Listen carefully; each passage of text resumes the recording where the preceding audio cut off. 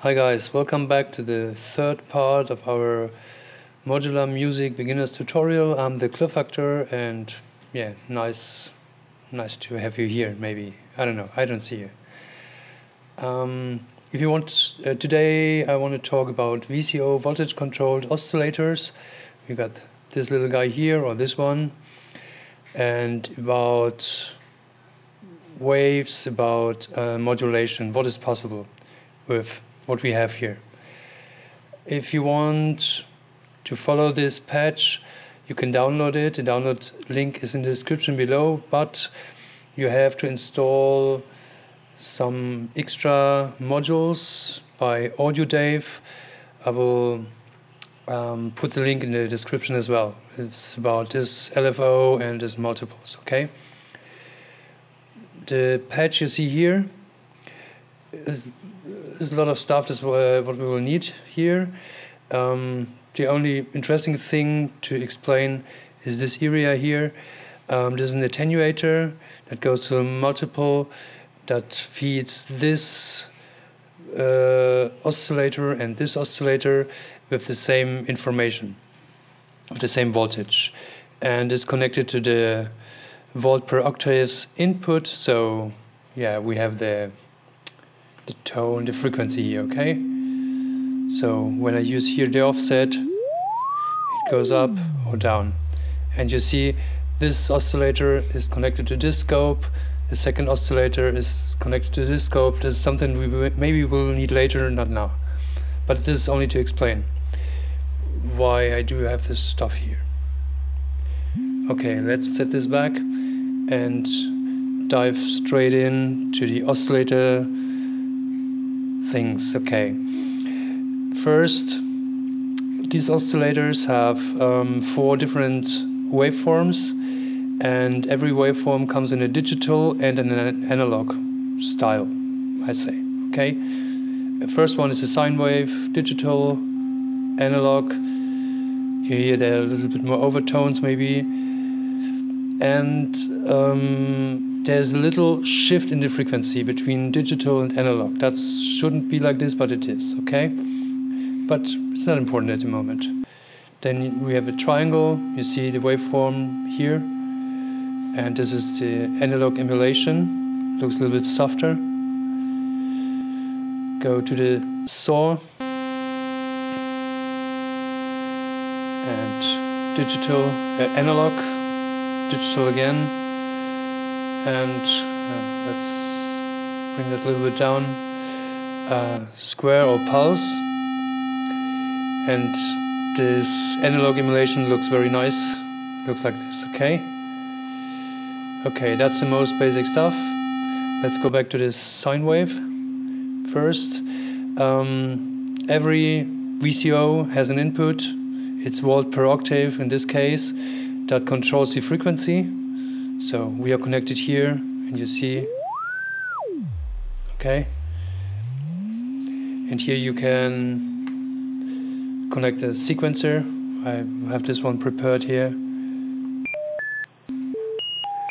Now you can play melodies. Okay. Um, first thing I will show you is back to the square wave. Let's bring this a little bit down. You have one control here, this is the pulse width. This is 50-50. And when you move it here, you see, and here, the difference. Okay. Let's bring it back to zero. And this is something you can use to, uh, you can modulate it. Very common is, for instance, to use a sine or triangle wave there with a low frequency oscillator. It's like the same thing like VCO, only that the frequencies go lower. Okay, and here control the strength of this. Now this is very common if you make pads or long evolving sounds. But that's not the only possibility you can use this. So if you go higher, and set the strength heavier you can get really strange sounds. Even if you go let's disconnect this um, to a VCO if you do the same thing with the VCO you will see. Let's try sine first. Now we are in audio range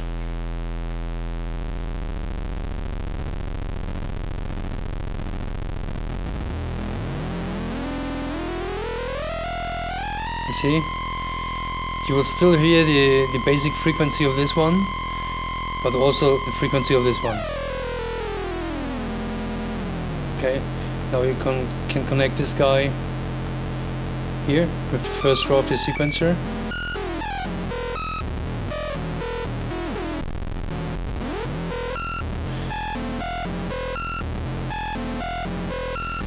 Okay um, now when you change the waveform to control that to a square wave,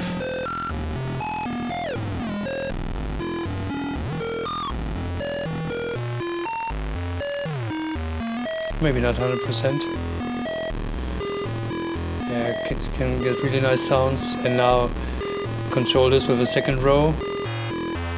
This is now the frequency of this one, okay?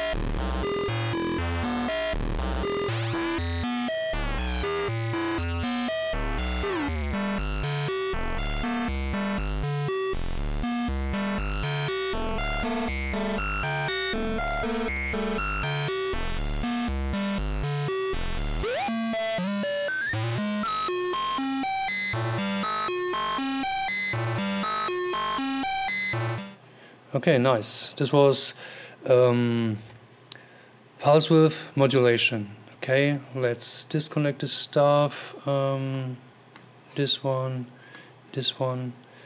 I need to get back. And let's go back here to sine wave. Okay, next modulation we can do.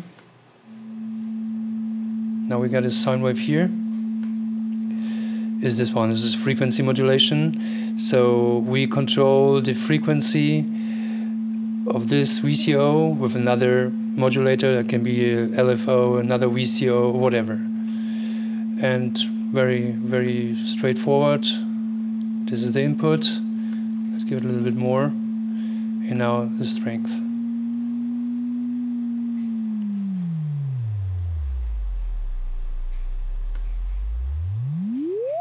See? That's absolutely easy.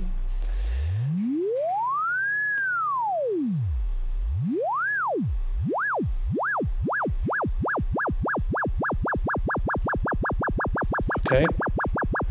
You can do the same thing using a,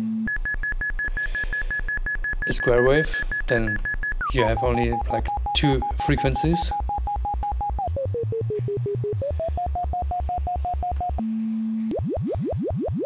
So, okay, we got you, you got the principle. Okay, you got the idea. One thing I I like to do is to make a very soft modulation like this with a sine wave and let's put the, uh, the sequencer in okay now you got this um, singing saw sound.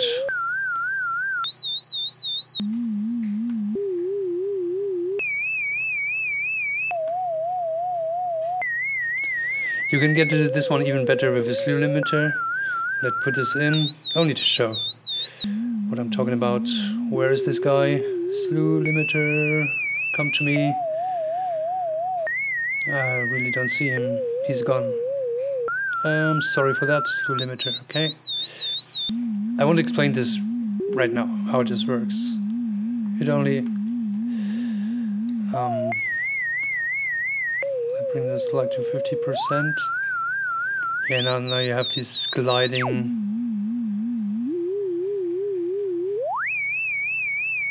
Singing saw sound, okay?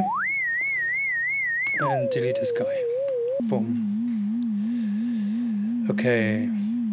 and now you got the same thing um, you have the controls over the strength and of course um, you can use um, audio to control this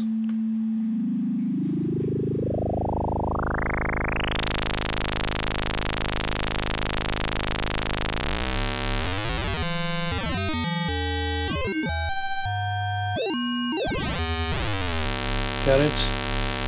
And again.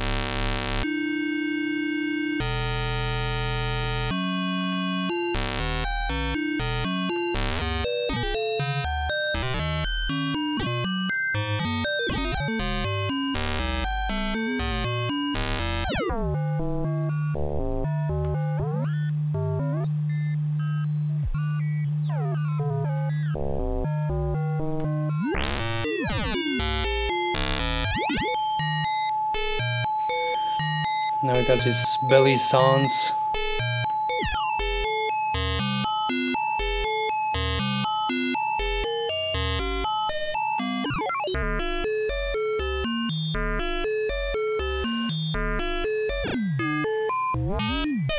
Yeah, tons of possibilities.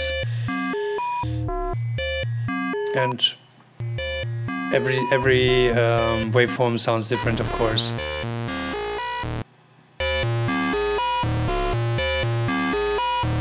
Go here. Give this a of modulation.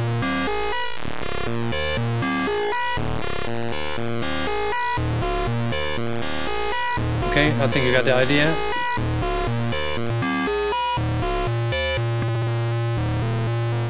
Okay, this is um.